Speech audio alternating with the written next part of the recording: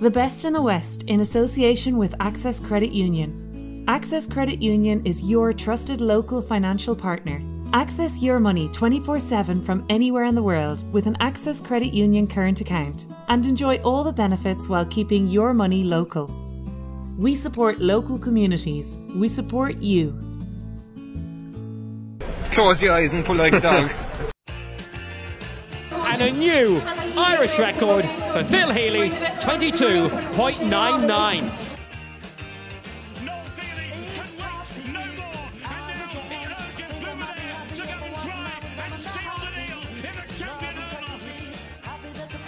Christy Cooney hands over the Sam Maguire Cup to Graham Canty, Cork All Ireland champions for the seventh time ever.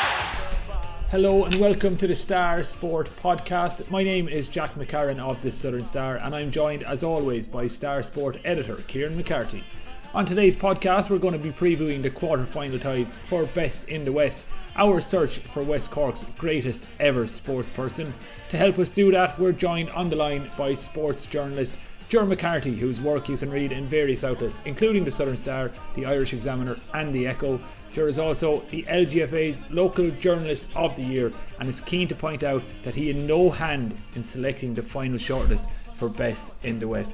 Best in the West is brought to you in association with Access Credit Union. Access Credit Union is your trusted local financial partner. Access your money 24 7 from anywhere in the world with an Access Credit Union current account and enjoy all the benefits while keeping your money local. Now, lads, we're going to break these quarter final t- ties down one by one in a second. Before we do, though, I want to ask Ger a few questions.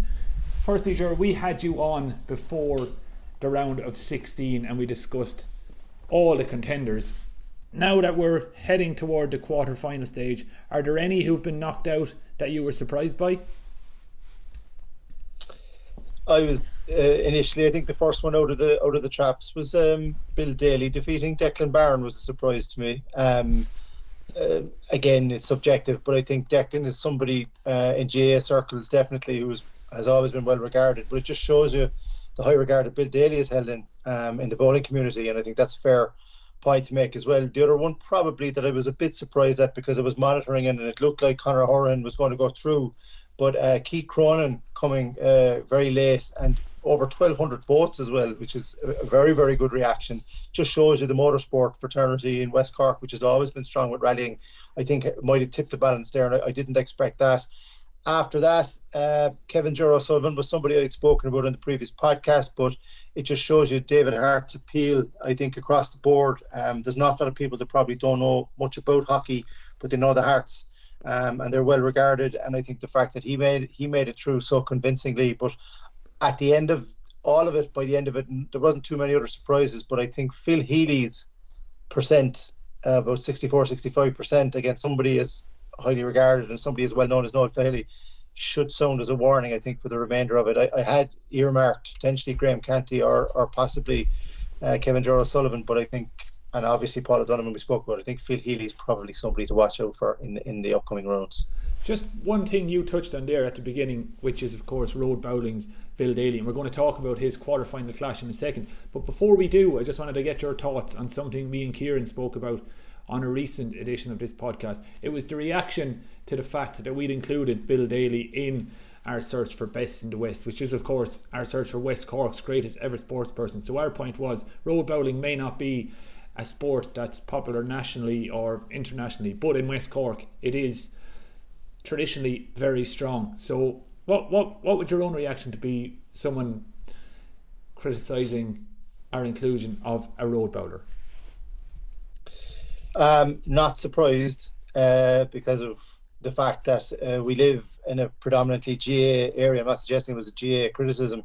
Um, and field sports uh, like soccer, like GAA, um, and like rugby have always predominantly dominated the headlines. I think bowling, from what I, I mean, I grew up with bowling. It's just like second nature. I grew up with bowling around me, but I didn't take any notice of it. I suppose that's being honest. Um, it's only in the last couple of years where I've had the opportunity, thanks to Kieran and the Southern Star, to interview some of the people that are modern day road bowlers and younger road bowlers that I, I that there's a phenomenal following and a phenomenal interest in it. And Armagh and West Cork, for some reason, uh, are two like you know they they couldn't be further apart in terms of distance. Are two areas of the country that produced a rich uh, lineage of, of, of bowling families, of bowling tradition down through the years. And anyone that says that bowling doesn't belong in, in the sporting uh, pantheon of, of the history of West Cork sport or isn't doesn't belong in the modern day sport, take one look on a Saturday evening or a Sunday, drive around West Cork and look at the number of young people bowling.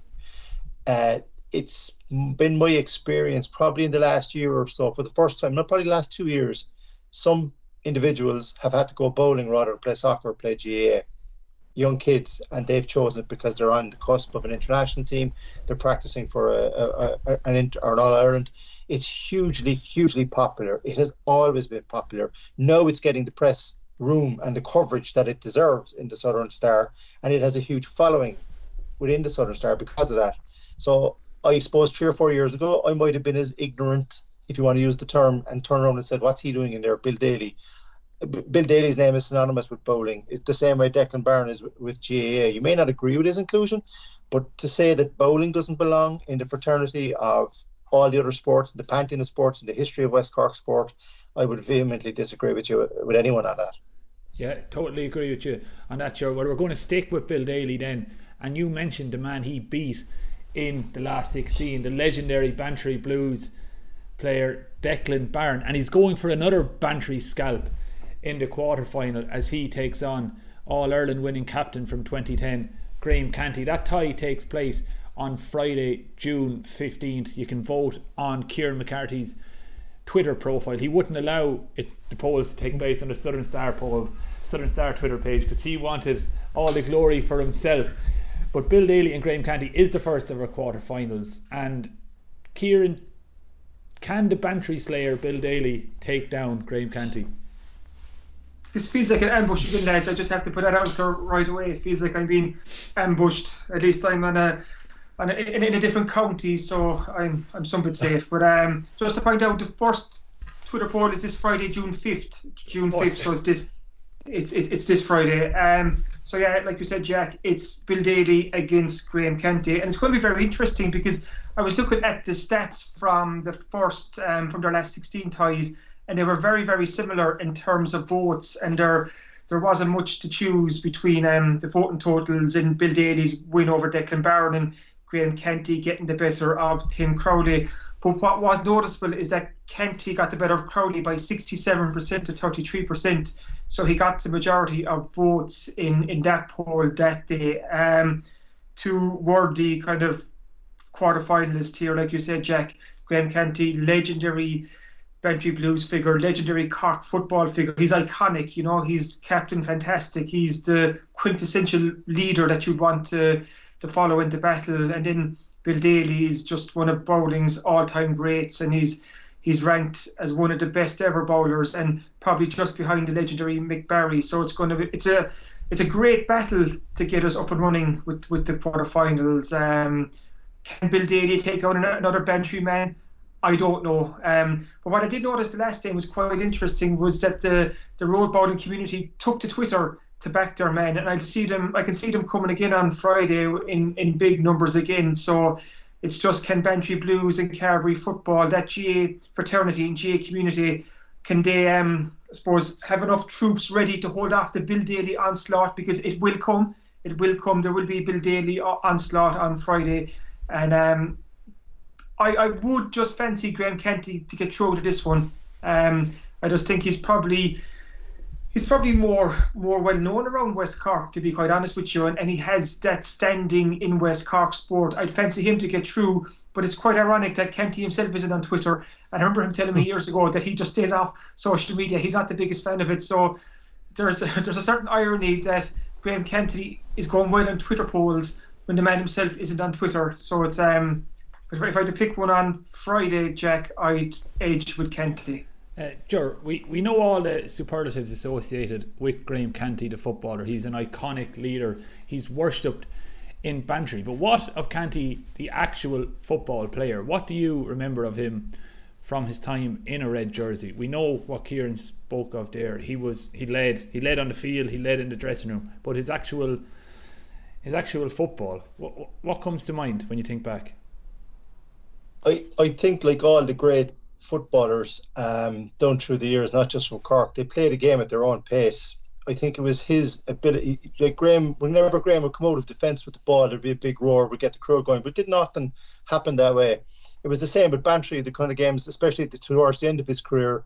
You know, he didn't have the legs anymore, but what he always had was the brain, and he could read a situation. And irrespective of what line he was, uh, what position he was along the half back line, or uh, more, more often than not centre back, um, he was an anchor. You know, it's it's it's kind of a it's it's almost like a cliche used for a defender at this stage that he anchored the defence. But Canty did that because if he needed to do a man to man job or push him back into the full back line, he was able for that. So he was a, he was an all rounder, I suppose, Jack more than anything else. And you know, as time grew on, for somebody, as Kieran said, that's not on social media, and for somebody so iconic in terms of imagery he's not that vocal. I mean, he's not somebody that shouts and roars. He never was. And uh, I remember an interview, brilliant interview that Kieran did with him in the Star a while back. I think it was a three-page feature, and it was it was a fascinating read because it was the first time I had seen him open up about uh, you know subject matters and things that he had never talked about before, kind of in public. And I, I was lucky enough to interview him after a couple of games playing with Bantry towards the end of his career, and I think becoming a family man and uh, being from Bantry certainly that, that that was his focus in life. He'd done all he could do in terms of football, but when you look, when you think back of the great defenders like the, that played for Cork, the Tony Davises, the Tony, the Nations, these guys, the Slocums, all these hard defenders that used to come out of defence with the ball. Canty's reading of the game and Canty's ability to just, you know, especially when Cork were under the cosh, not to lose his cool and to be able to just feel his fielding as well was sensational. He played midfield quite a lot for Bantry with uh, because of that.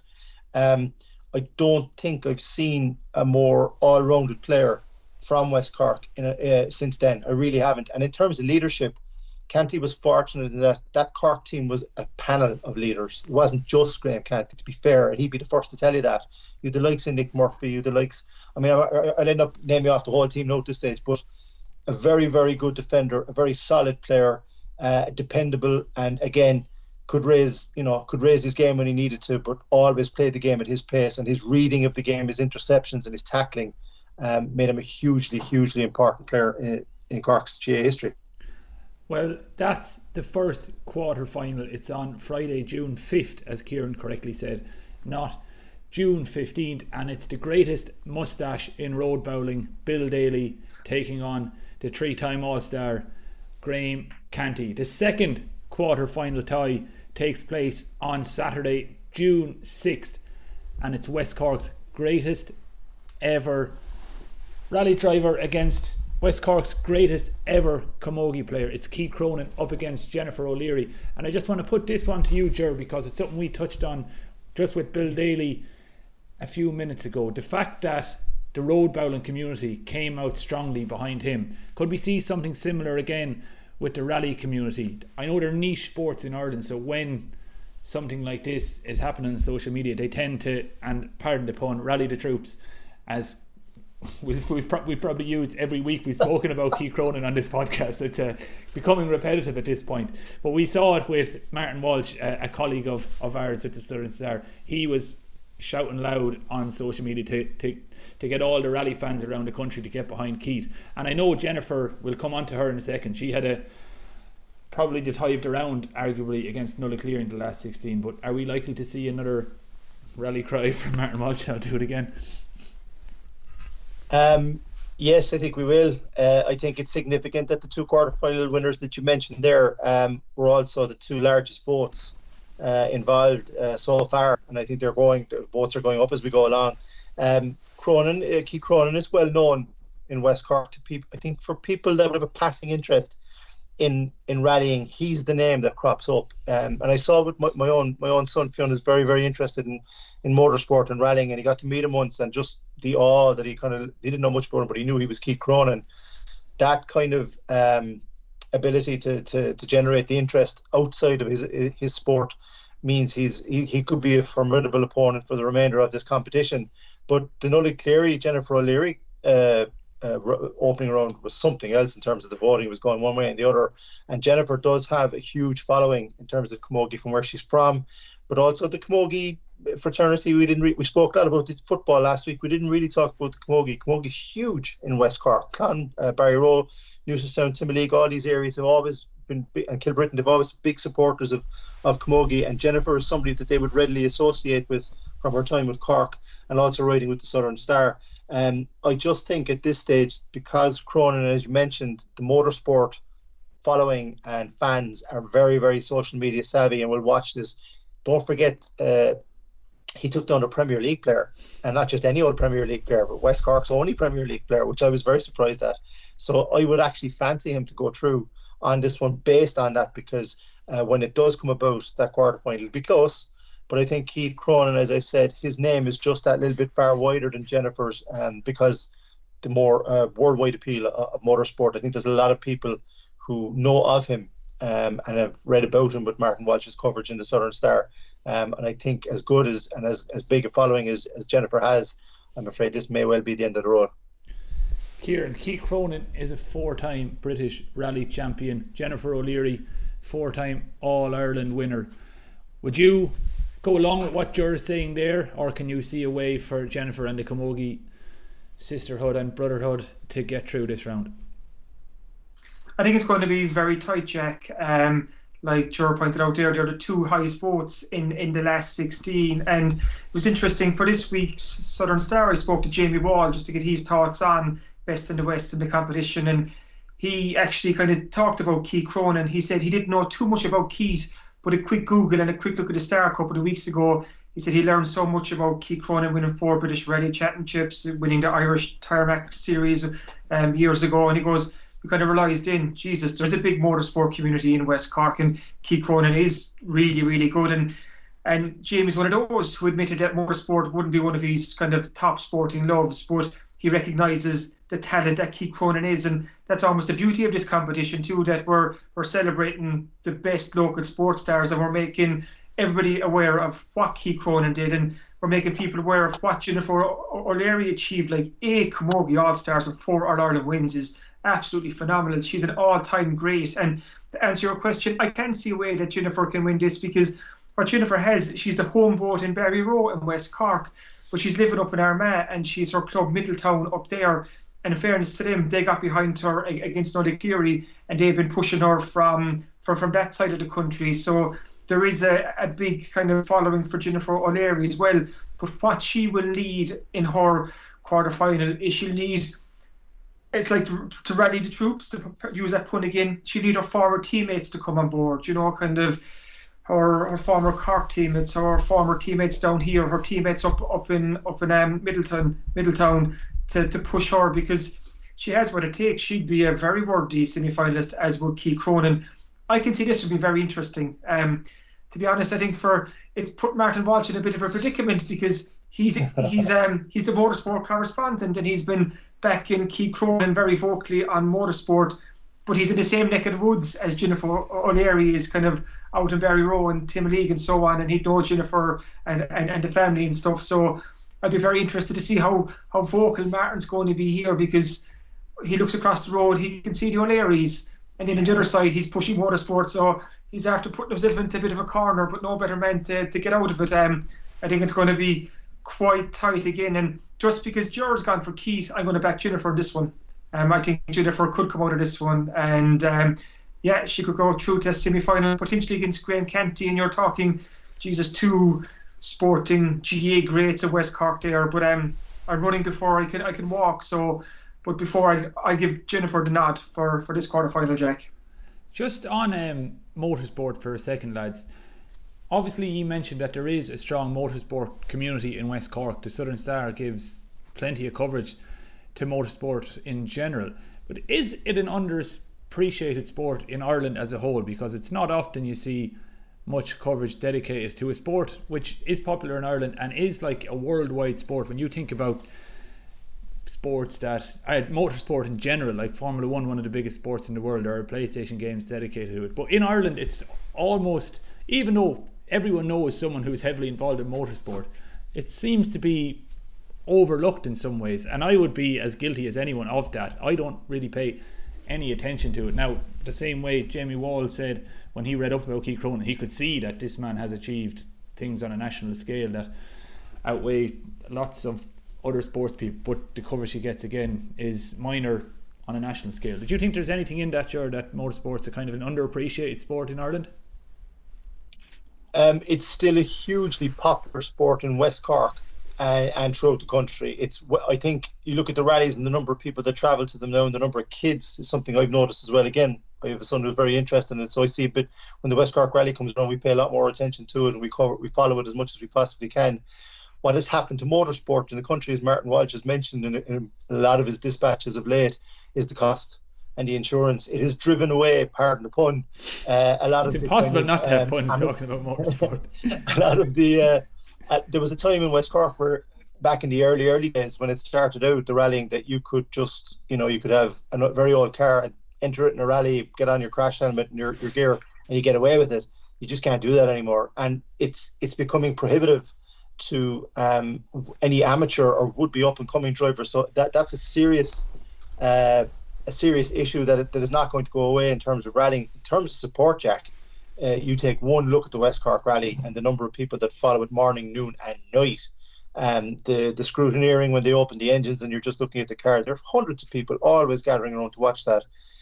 Formula One is obviously uh, again very very you know it, it's worldwide. It's it's social media. It's on your it's on your satellite TVs.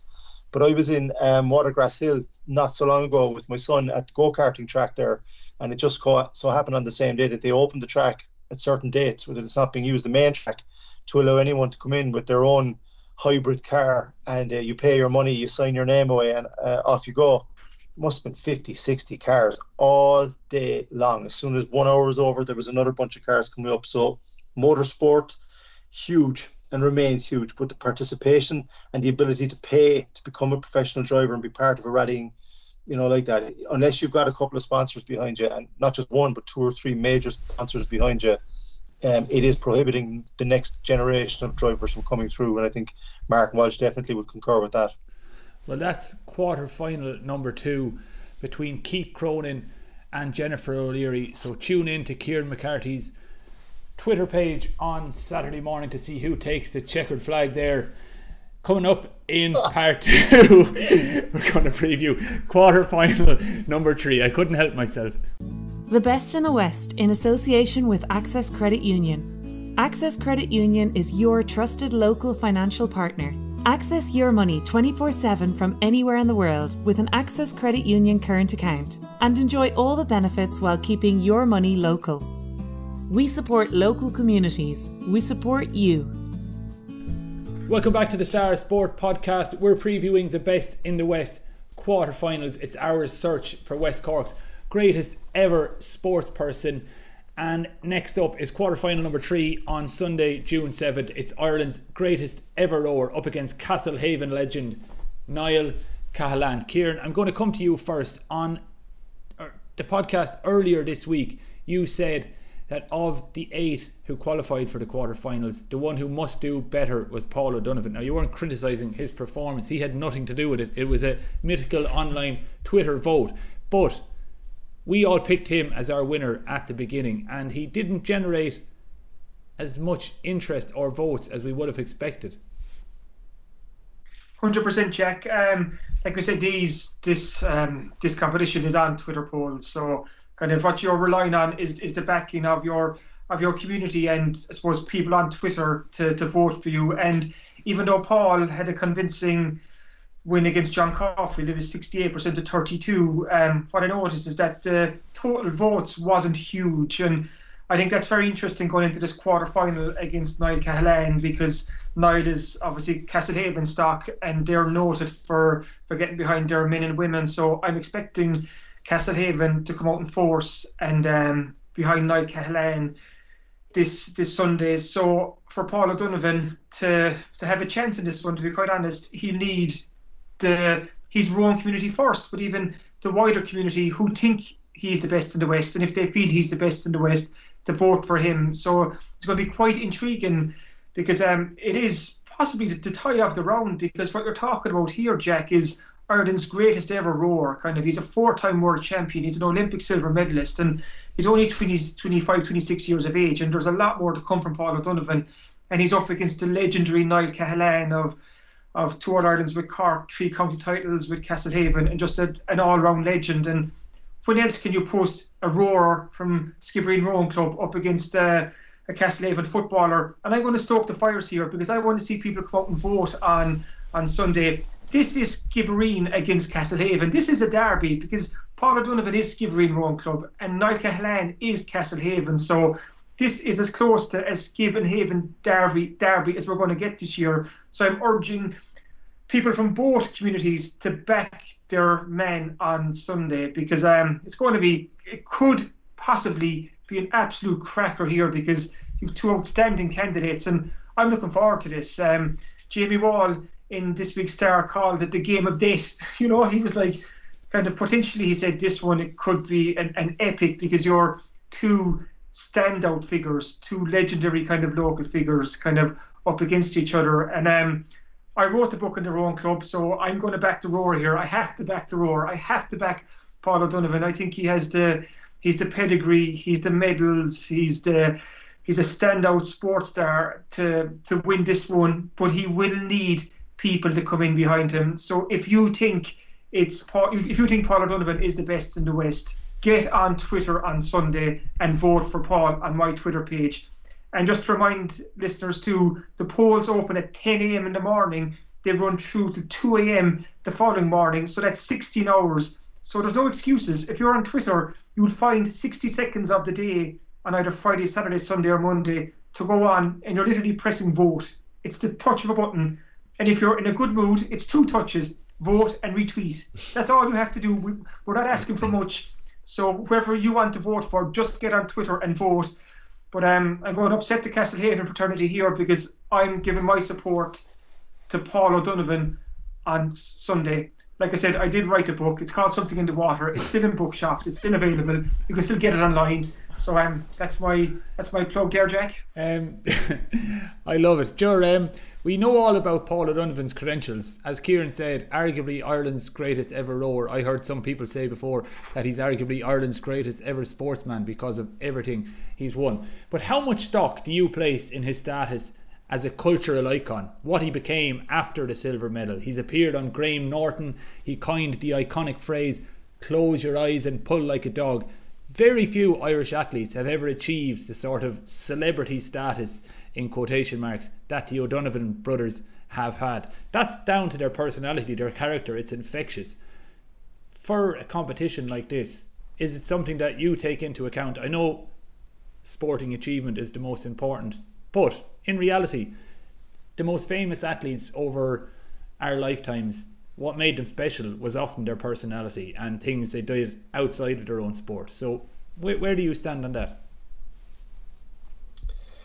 Um, in terms of a league table of where he sits, where Paul sits uh, in Irish Olympians, he's, he's, right up at the top. It's subjective again, but uh, like from reading Kieran's book, where he and Gary came from to do what they did, and where Skibbereen Rowing Club came from to do what they continually seem to do, is you know is up there with some of the most amazing stories you could you could even uh, imagine from such a small rural pocket of an island to produce the, the, number of quality rowers they have is is amazing, and there, there's something in the water is, is an apt title because of it with Paul and with Gary at the time of the Olympics, I think their off the cuff remarks and their happy go lucky nature, just the way they are, certainly attracted an awful lot of attention that would not might not necessarily have happened if they were just, you know, very dour and very quiet and very singular uh, kind of roars. And um, uh, I think their personality shone through for a long time. But what I what I've, I've said this before on the podcast, what I love most about the two of them, and especially Paul, is the fact that they were so pissed off after the Olympics because they'd only won silver. That's the proper sign of you know of two athletes who are, who take what they do very very seriously.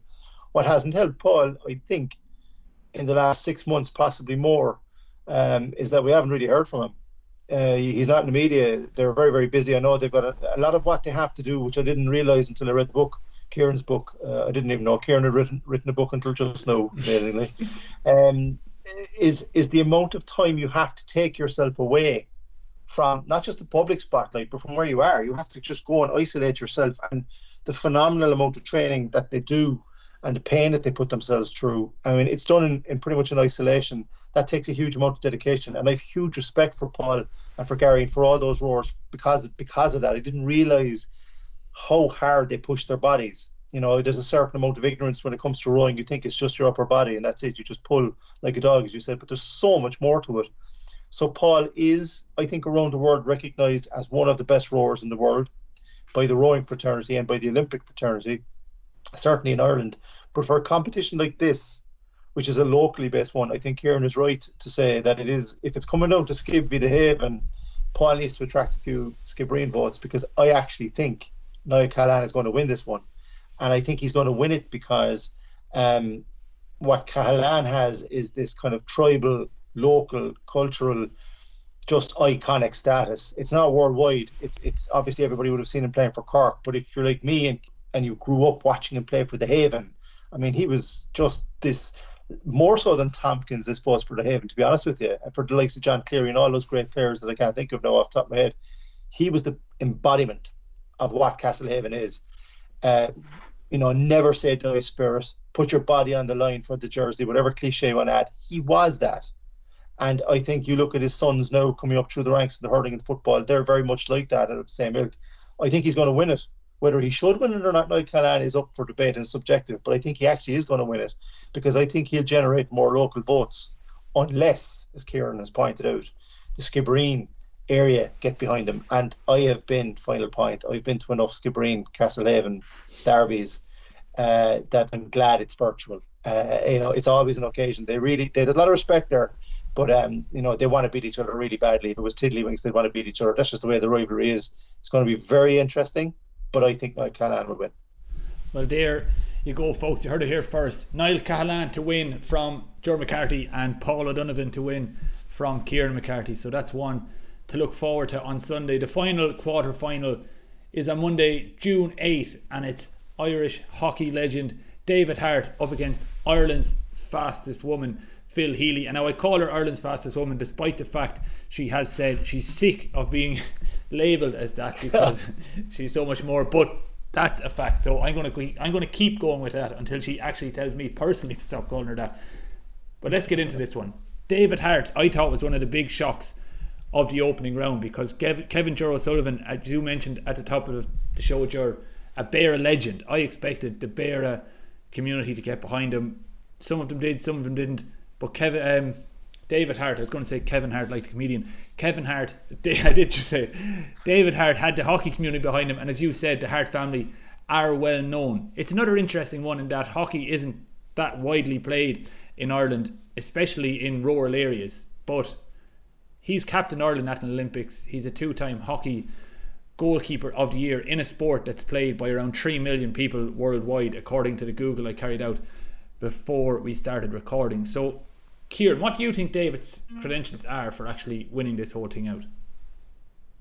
Um, when you're looking, I suppose, when people are deciding their criteria of why they're voting for uh, a certain per- a person, are they going to vote for someone because, like an Cahalane, because you're a footballer and kind of you know Gaelic football, or is your criteria that you're going to vote for kind of the accomplishments of the sports people? And if we're talking about accomplishments, you're looking at David Hart, and he's a two-time World Hockey Goalkeeper of the Year. So for two years in a row, this man from Ballinspittle was voted the best hockey goalkeeper in the world, and that's two years in a row. And he was actually in the running for the, uh, the for the award for a third year in a row, but he, he didn't he didn't win it. So you're talking about a man who's 225 caps for the Irish men's hockey team, who captained the Irish men's hockey team to the Olympics in Rio in 2016, and that was the first time in 108 years that Ireland had a men's hockey team at the Olympics. And you're talking uh, about a man who plays hockey professionally with SV Kampong over in the Netherlands and who's making his living off the sport. And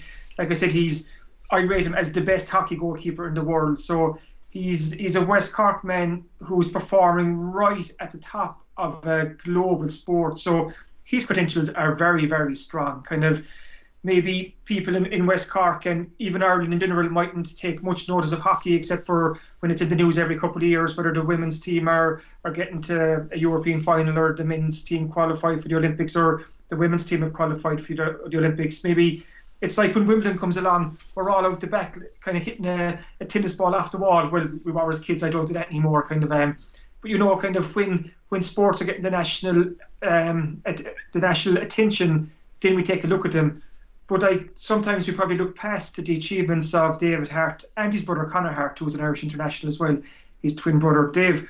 What they've done for hockey in Ireland and hockey in West Cork is phenomenal. So he has huge credentials. Uh, he's up against it here Phil Healy, to be honest, because what I think what Phil has is she's a very current sports star and she's very visible in the community and she could be racing there up in the up in CIT at the, the Cork City Sports and setting national records up there. So she's probably more visible to people down here. But David Hart has as a chance in this one, Jack, because I was watching the, the voting um, on Twitter and he's win against Kevin Jer and Kinsale Hockey Club and different hockey clubs are coming in behind him. Vote for David, vote for David. And if the local hockey clubs could get behind him and if he's I suppose fans over the, the Netherlands get behind him, he could he could take out Phil Healy here. Um, you mentioned you rate David Hart as the best hockey goalkeeper in the world. I was just wondering who else would you have in the top five there, Kieran? Um, we might we might leave that one there. No, um, Ger, I'm going to come to you to chat about Phil Healy now because I thought Kieran asked her coach Shane McCormack an interesting question on last week's podcast, and it was that in ten years' time could Phil Healy be almost an outright favourite for this? And obviously, it's impossible to say, but just based on what you've seen from Phil so far in her career, could you see her going on to maybe attain the status of, to use another Cork example, Sonia O'Sullivan? I know it was a different uh, discipline they were in, but it's still athletics. So there is that scope in Irish athletics to become a superstar. Based on what you've seen from Phil, could you see her going on to achieve that status? Um, initially, when I first met her a couple of years ago and got to just interview her, and, and Kieran will probably attest to this, um, I couldn't get over how softly spoken she was and just how reserved. Obviously, she was still quite young, and this, this, there was a lot of things happened very quickly in, in her career and her life um, with athletics. And I think when when people in the likes of Shane McCormack could see the potential initially that was there, people got very excited. And I mean, there's footage of her coming back from the dead to win a race, that, that you know, that fantastic race. Um, and I think just her her demeanour early on when I first interviewed her, and I've interviewed a, a lot of local athletes down through the years, but one that I always remember was Olive Loughnane. And I remember asking Olive at the time, an Olympian, I said, at what, she just was the nicest person you could meet, very, very charming, very talkative. I said, at what point do you stop being this person and become this absolute thunderbolt on the on the track? And she was taken aback because she didn't she couldn't didn't understand what I was asking. But Phil Healy, if you watch her now, if she if she conducts an interview, if you see her speaking on social media, there is this steely determination, there is this quiet confidence, and there is this gaze, Jack. And the, the only thing I can liken it to is Roy Keane. It's that look that says, I would hate to be racing against Phil Healy if that's the way she's looking down the track at me or across from me. She now has a body of work where she has the potential to go on and be something special. Injury free, of course, and who knows what's going to happen in the coming years. But what Phil Healy has, as Kieran correctly attested to there, is that she has a local and a global reach now as well.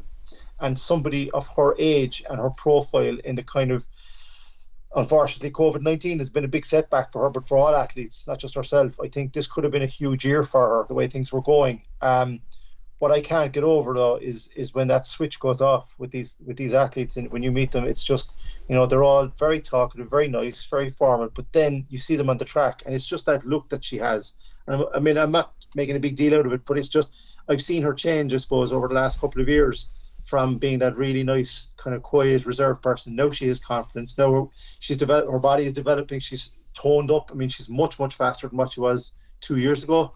And she's amongst you know she's in quite a competitive um quite a competitive in you know a sport that she's in. She's going to have to remain at the top. And we heard about how she took herself away to train properly with Shane McCormack. I mean, if you've got that determination this early in your career, you've given yourself every chance to be successful, both at Irish and at international level.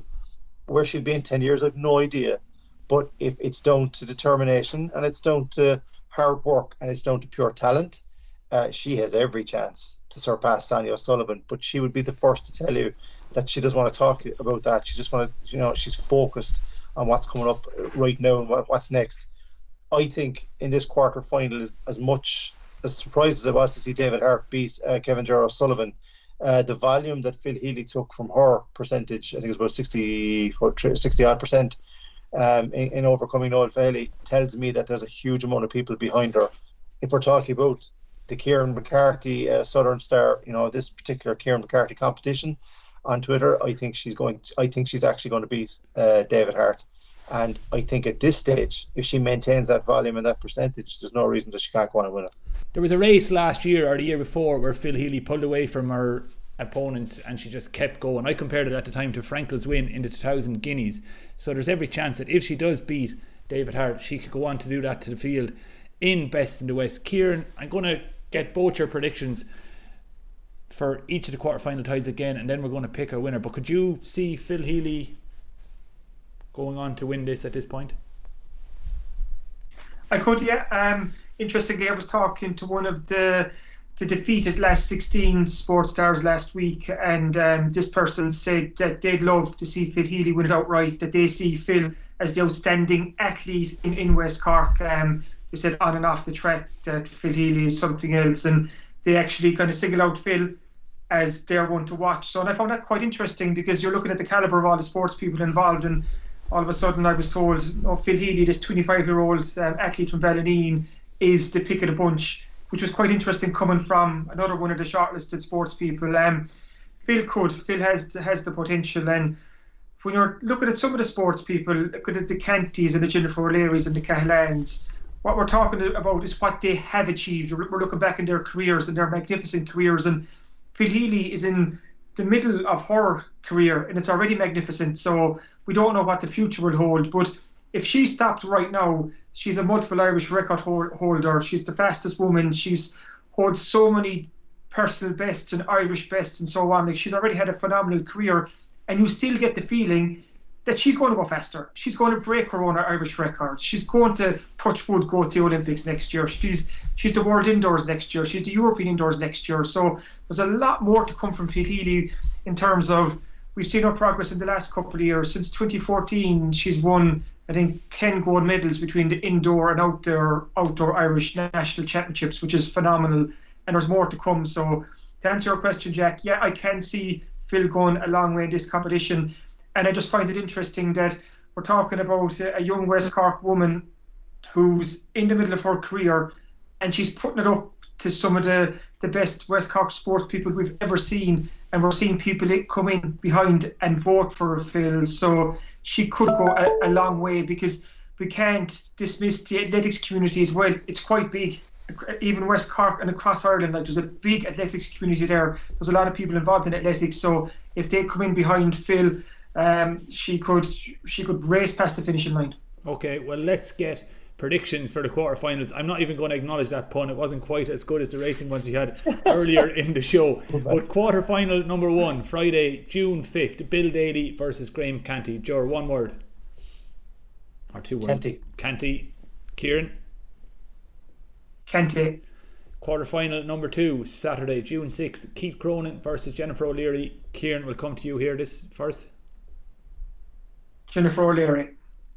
Sure. No, Keith Cronin. Keith Cronin for me. Sunday, June 7th, third quarter final. It's Paul O'Donovan up against Niall Cahalane. You've both already given predictions for this one, but just to clarify, Ger. Uh, I'm going to go with Niall Cahalane. And Kieran. Paul O'Donovan to make a splash in the Skip Haven Derby. That would maybe if he was a swimmer, we could use splash or a Olympic diver, but um, no, I'm not giving you that one. Tie number four, Monday, June 4th. We've just spoken about it. It's David Hart versus Phil Healy. Kieran? Phil to race to victory. and sure. Phil Healy to win. and lastly, before we wrap up, who is going to win it out? Sure.